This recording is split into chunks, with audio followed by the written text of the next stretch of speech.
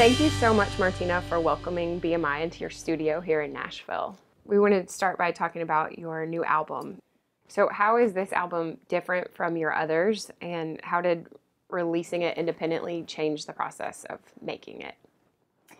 Well, the album is, you know, it's different in, in the fact that it's, it's uh, a compilation record of some of my favorite um, iconic soul and R&B and pop songs, some of which have crossed over to country as well. But um, it was just a really fun record to make, kind of to make a record not I don't know, I guess not really worrying about radio or hit singles, but just really making a record that I just wanted to make a record that was fun and easy to listen to and you know really paid tribute to these great songs.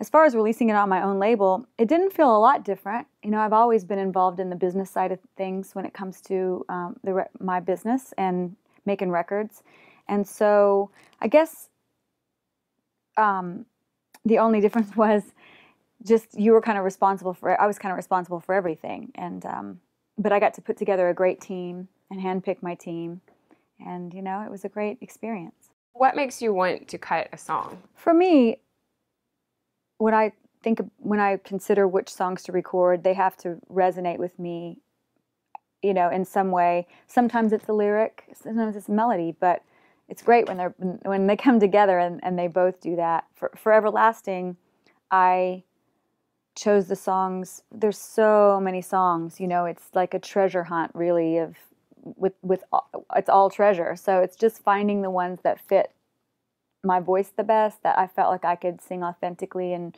inhabit the song and really um, make my own. And so it was, you know, we we had a I listened for seven or eight months to just thousands and thousands of songs, and then narrowed it down to about 25 that I sat down with the piano, just piano and vocal, and it was just kind of obvious which ones fit and which ones seemed a little awkward. It's like I always say, it's like if you have a rack of beautiful gowns, you know, and you're getting ready for an award show and they're all so beautiful and you look through and you're like, oh my gosh, these are so amazing. But then when you start trying them on, you know, some look better on you than others and they're more flattering and they just fit better.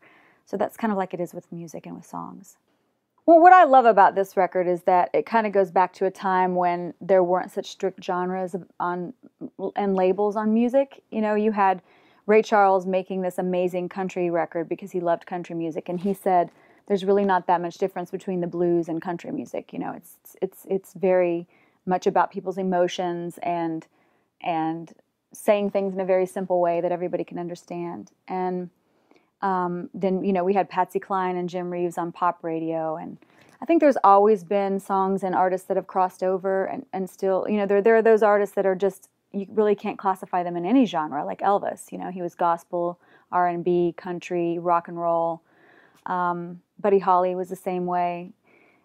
Uh, so I think that there's there have always been songs and artists that have kind of encompassed a lot of different just just music in general without really being labeled as any one thing or, or they defied being labeled you know you couldn't really pigeonhole them into a category so for me that's what i love about this record is i just approached it very open-hearted and open-minded and just really wanted to revisit that time when we you know it's is it a country record? Well there are songs on it that have crossed that have been country hits as well as r&b hits and pop hits. I mean they were simultaneously almost this you know on both charts by different artists because because back then people recorded each other's songs and it was just much freer.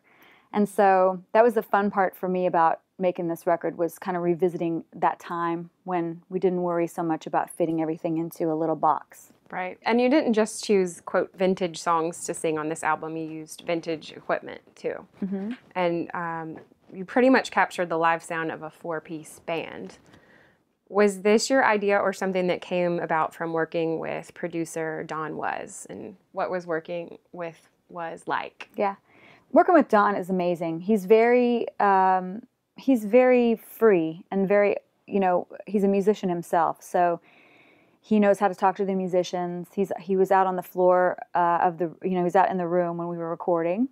Um, we recorded this band all in one room, and I think that made a huge difference because everybody could see everybody as well as hear everybody. So, you know, one thing that Don said um, uh, to the musicians when we started making this record was that to to listen to each other and to listen to to the singer, me, and really play off of each other's emotion. And and the thing about having a four piece band is that every part is important.